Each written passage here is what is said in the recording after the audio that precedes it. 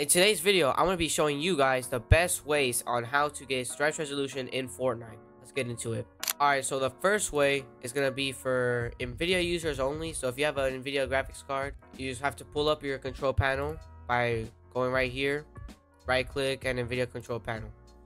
What you want to do is you want to go to change resolution, and you will go to customize, and create custom resolution. It might say something and you just have to click accept and okay. And what you want to do is just choose your resolution right here.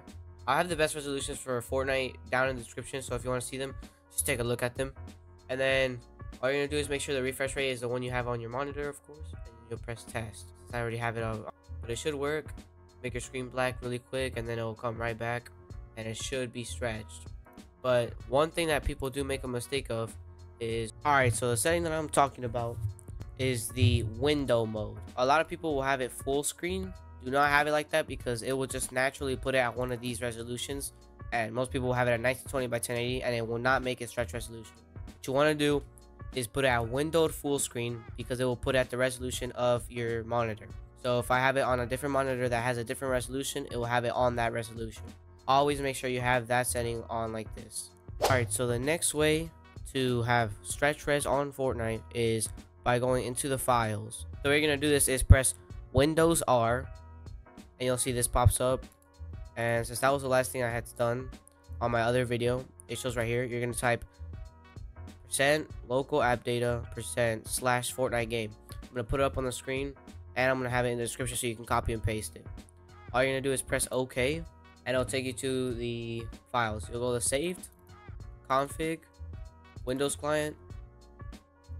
So you'll see game user settings. You're gonna go right click, properties, then take off read only, press apply, apply, then press right click on it again, open with and notepad. Now what you're gonna do is you're going to scroll down and you're gonna keep scrolling down until you see your resolution, which should be 1920 by 1080.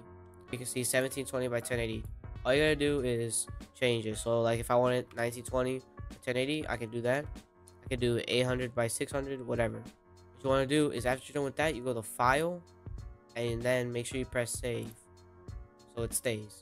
You exit out, you go back, right click, Properties, Read Only, turn it, check that back, and then Apply. And then you're just gonna start up your game, and it should be good. All right, and the last way that we're gonna be doing is using AlphaRes. So if you just search up AlphaRes just like this, I'll leave a link down in the comments for the AlphaRes so you can just instantly download it. But you'll go on it, download, and right here download. And once it's done downloading, you have this. What you're gonna do is put whatever resolution you want, like say you want 1720 by 1080, you know the most popular one. And again, I will leave the um, description, so if you want to just copy and paste them in.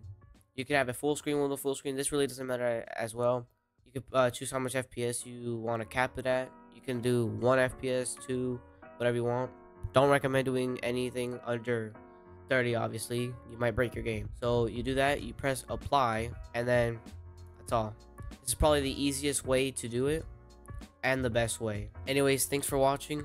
Hope you guys enjoyed the video. Like and stuff for more. I'll see you in the next one. Goodbye.